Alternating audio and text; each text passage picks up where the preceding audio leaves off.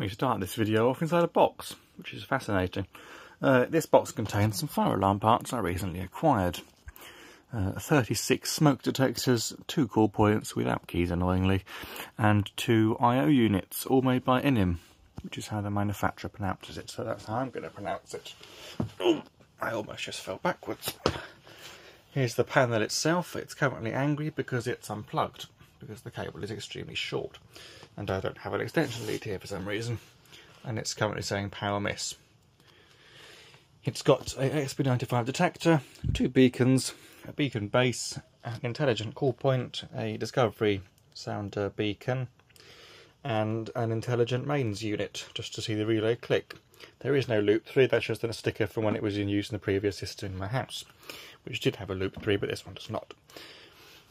I never actually did anyway. Um, it's got the panel here, of course, which I've just mentioned, with the power missing, and the key is on for some reason already, but that's fine. And uh, yeah, um, let's do a little test of it. Let's press the call point first. It does go off quite quickly, which is good, but the sound does take a few seconds to activate, which is a bit annoying. There we go. Let's uh, silence the panel. Off that goes. And let's put the key in and reset the call point. This is very hard to do with my hands. There we go. Now that's been reset, let's press the reset button. This panel resets quite quickly, which I like about it. And again, it's quite a simplistic panel, so that's probably why it resets quickly. The Morley I used to have took a very long time to uh, reset. Let's blow some um, magical air into the detector which goes off quite quickly. First it starts pre-alarming and then it goes off properly. I haven't set up the pre-alarm to actually do anything, but if I was to install it, I'd probably make like a beacon flash or something, just so security or I would know that something's wrong.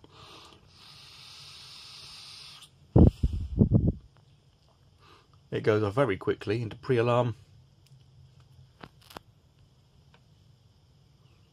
But yeah, pre-alarm does nothing at the moment, and plus I've disabled the panel's buzzer for fire and fault and pre-alarm.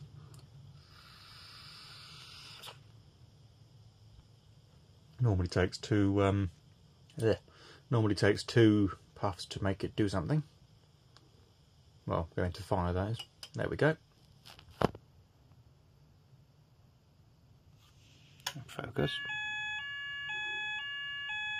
There we go.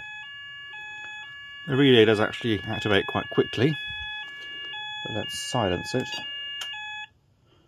and reactivate it. So once it's once it's activated, it goes off quite quickly.